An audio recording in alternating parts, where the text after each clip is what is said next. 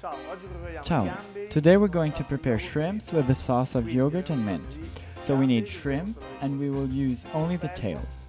Grapefruit, mint, yogurt, salt, and pepper and oil. We're going to take the shrimp, take the head away, and we're going to make an incision. rimuoviamo il carapace. Take away the shell. Eliminiamo we'll make an incision in the back and take away the bowel.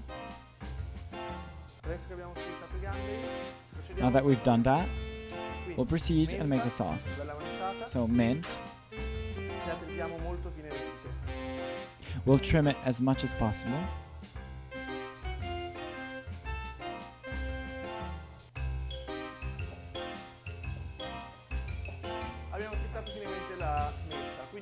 Now that we've done this, con 250 ml di yogurt Maggia.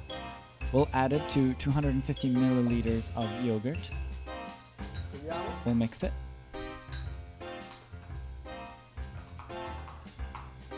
spremiamo metà pompelmo finire And we'll squish half a grapefruit that will then join with the yogurt and the mint.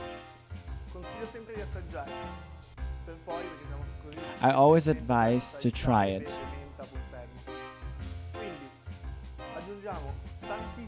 We'll add a lot of pepper, some salt, generously, and we'll keep stirring. Now we'll put the sauce in the fridge while we continue cooking the shrimp. This sauce can be prepared two days prior. We'll cover it.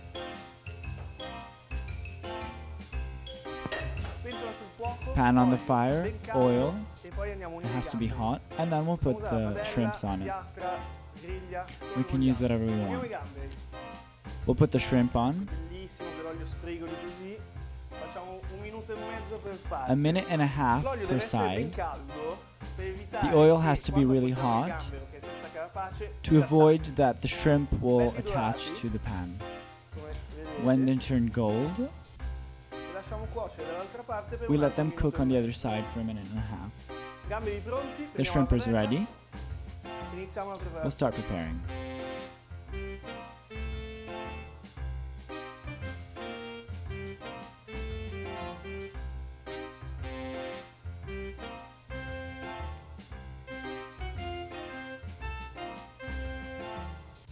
The plate is ready, easy and quickly. quick.